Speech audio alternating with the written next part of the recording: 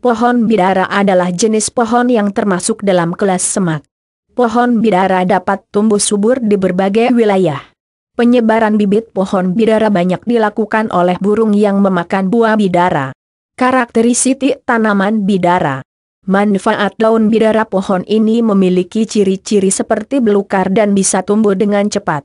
Semua bagian kayu pohon bidara dapat bercabang dan juga banyak mengandung duri. Karakteristik daun dari pohon bidara berbentuk lingkaran atau elips kecil dan berwarna hijau dengan permukaan yang mengkilap. Semua bagian daun memiliki garis-garis daun yang terlihat sangat jelas. Buah dari pohon bidara berbentuk lingkaran kecil dengan warna hijau pada awalnya dan akan berubah kuning kecoklatan setelah masak. Di beberapa negara seperti China dan India, Pohon bidara diambil daun dan buahnya untuk dimanfaatkan sebagai obat-obatan. Berikut ini manfaat daun bidara. 1. Mempercepat penyembuhan luka. Luka yang disebabkan karena jatuh, lecet, luka gores ternyata juga bisa disembuhkan dengan memakai daun bidara. Senyawa antiinflamasi dalam daun bidara mampu membuat kulit yang terluka lebih cepat sembuh. Daun bidara digunakan sebagai obat luka adalah daun bidara kering yang sudah diolah menjadi bubuk. Campurkan daun bidara dengan sedikit air hingga menjadi pasta setelah itu oleskan pada bagian yang terluka. Khasiat seperti ini juga didapatkan pada 2. Mengatasi masalah kecantikan. Khasiat daun bidara untuk mempercantik wajah sudah dipercaya sejak zaman kuno di China, Daun bidara secara efektif bisa mengatasi masalah jerawat dan berbagai macam efek penuaan dini seperti keriput dan lingkaran hitam pada bagian mata.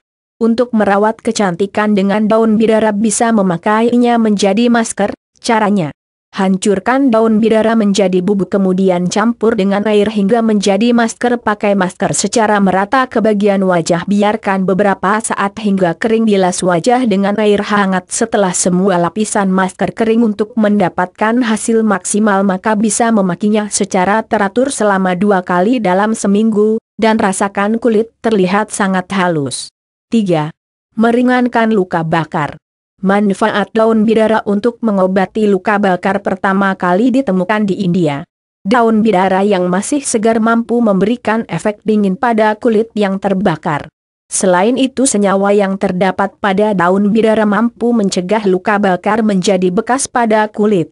Jadi, jika mengalami luka bakar kecil dan masih bisa diobati sendiri, maka carilah beberapa lembar daun bidara segar yang masih hijau cuci bersih dan tempelkan pada kulit yang terkena luka bakar.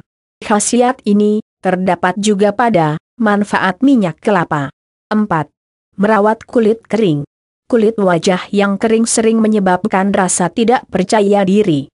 Selain itu kulit kering lebih terlihat kusam dan tidak terawat.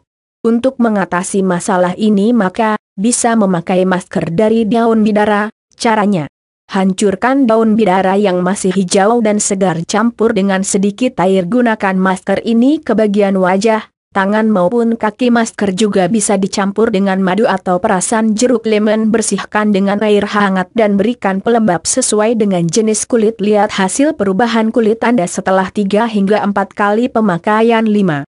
Mengatasi gejala depresi Manfaat daun bidara ternyata juga efektif untuk mengatasi rasa cemas yang sering muncul sebagai gejala depresi. Senyawa yang dihasilkan dari ekstra daun bidara mampu memberikan efek nyaman. Bahkan pengobatan ini telah diteliti oleh sebuah lembaga penelitian farmasi dan keluar dalam jurnal Etnofarmakologi edisi tahun 2001. Beberapa produk daun bidara yang telah diolah menjadi manfaat teh daun bidara, terbukti mampu memberikan efek tenang dan nyaman terutama pada orang tua dan orang dewasa yang sedang memiliki masalah. 6. Mencegah diabetes. Kandungan senyawa yang ditemukan dalam daun bidara kering ternyata juga mampu melindungi tubuh dari kerusakan sistem pengaturan kadar gula.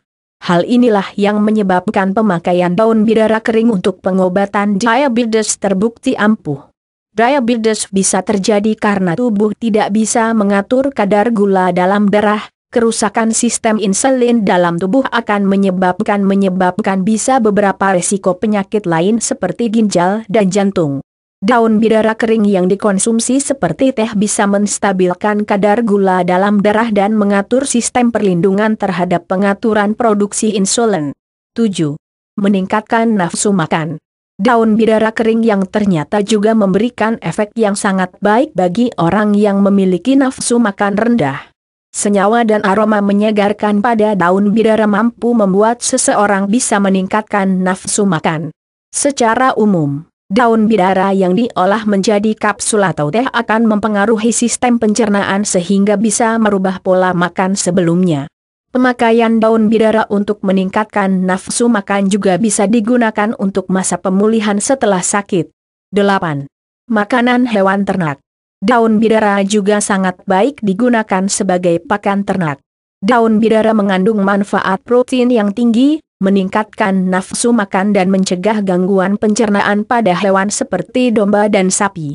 Daun bidara yang kering maupun masih segar bisa dicampur dengan jenis daun lain seperti rumput maupun daun nangka. Tips penggunaan daun bidara Pemanfaatan daun bidara untuk mengobati berbagai jenis penyakit memang sudah sangat dikenal. Namun tidak semua daerah bisa mendapatkan daun bidara dan harus mengambil dari daun bidara dari daerah lain baik dalam bentuk kapsul, bubuk maupun serbuk. Berikut ini adalah beberapa tips penggunaan daun bidara. Bagi ibu hamil atau ibu menyusui, yang ingin mengkonsumsi daun bidara sebaiknya berkonsultasi dengan pakar medis. Hingga saat ini belum ada penelitian yang mengungkapkan efek samping pemakaian daun bidara untuk ibu hamil, tapi tidak ada salahnya jika Anda bersikap waspada. Pemakaian daun bidara untuk obat diabetes untuk menggunakannya perlu dilakukan secara hati-hati karena jika salah racik maka bisa menyebabkan resiko pada kadar gula. Pemakaian daun bidara segar atau bubuk keduanya sebaiknya harus menghindari kontaminasi dari berbagai tempat yang terbuat dari logam atau besi.